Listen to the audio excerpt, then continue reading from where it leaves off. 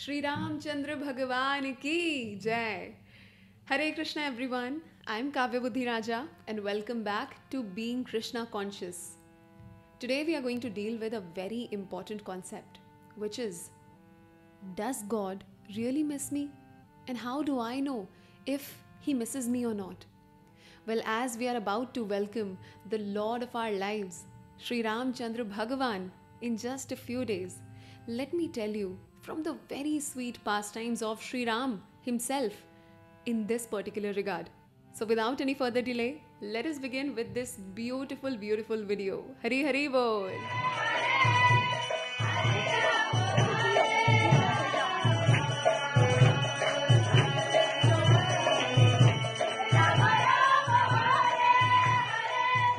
According to Srimad Bhagavatam, Sri Ram sacrificed something which a normal person like you and me cannot even think of.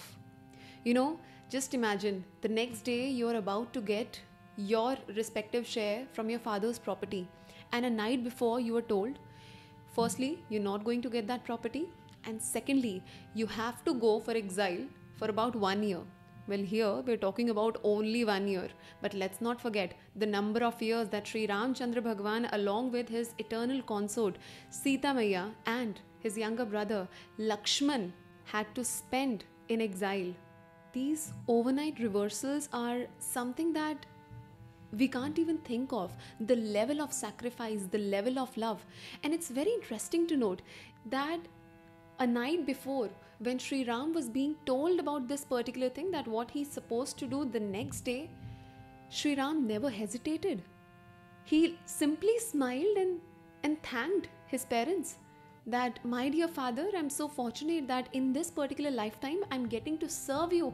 I'm getting to fulfill the vow that you had given to Mother Kaikeyi. So, this was the level of love that Sri Ram had.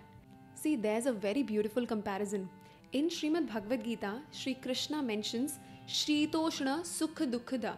Hey Arjun, every living entity should tolerate Sukh, happiness, and Dukh, distress, just like we tolerate the changing weathers, like summer and winter. So Krishna instructed it, but Sri Ram Chandra Bhagavan showed it by his own example. He was not Dukhi, and also even when he was told that he would be the next ruler or the next king of Ayodhya, he was not on cloud nine. So he was tolerating both happiness and distress. What happened next was quite astonishing. Now we all know that Mother Sita was never instructed to accompany Ram to the forest. She was never told that way, and neither was Lakshmana.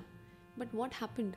Because Sita Ma is so loyal, she's so pativrita that she was perfectly okay to you know go through all the sufferings and hardships but she was not okay to be bereft from the association of the lord and this is what the heart of a pure devotee is just like there's a beautiful pastime wherein the gopis are asked that dear gopis Sri Krishna's head is aching and he needs the dust from the lotus feet of his pure devotees. Only then his headache would be relieved.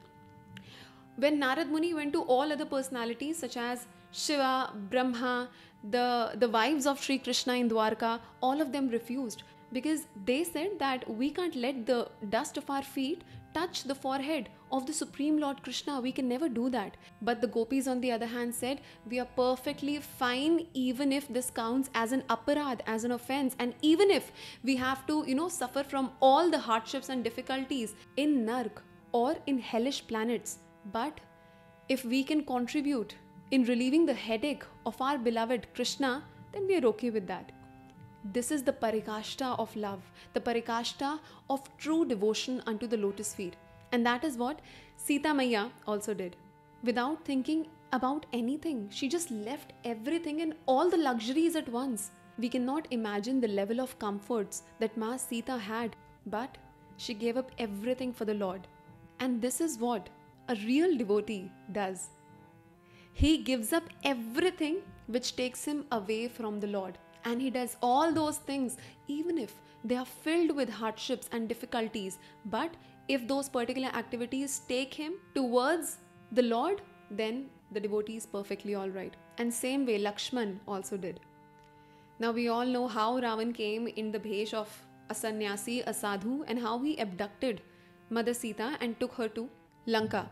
And then he kept Sita Ma in Ashok Vatika for many, many months.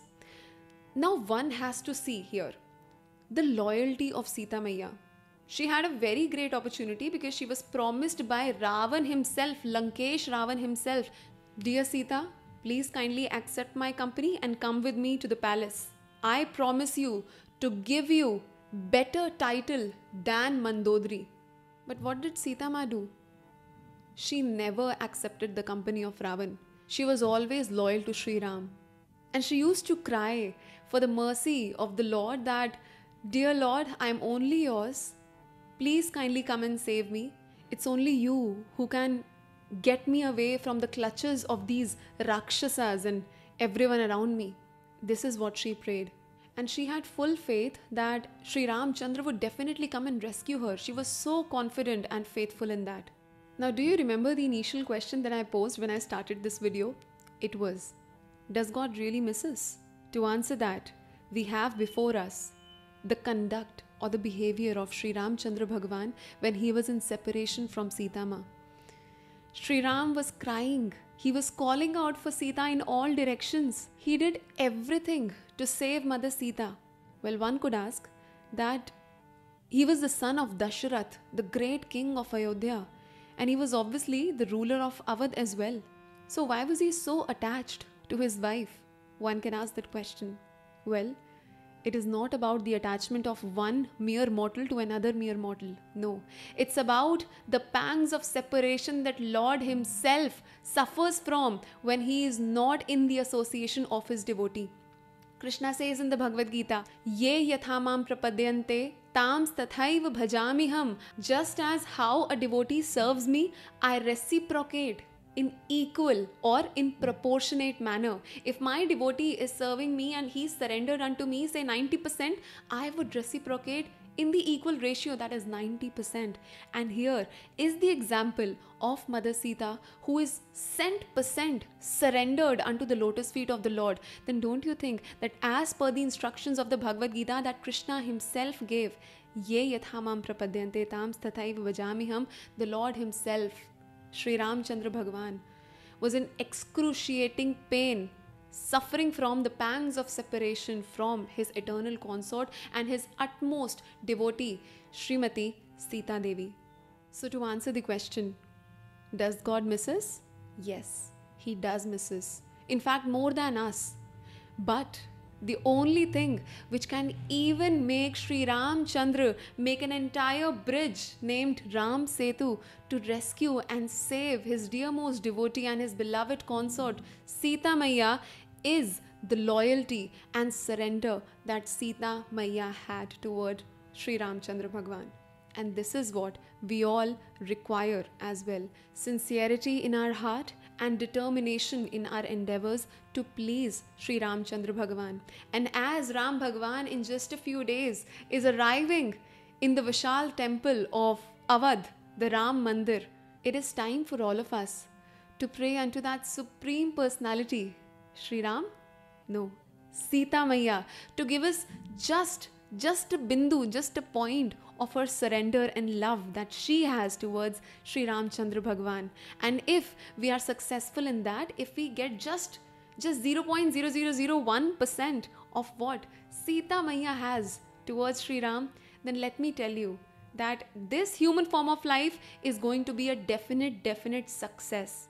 So let's awaken the Ayodhya of our heart and then celebrate this wonderful occasion of real Diwali, of welcoming Sri Ramchandra Bhagwan along with his consort Sita Ma, his younger brother Lakshman, and of course his dear, dear devotee Sri Hanuman.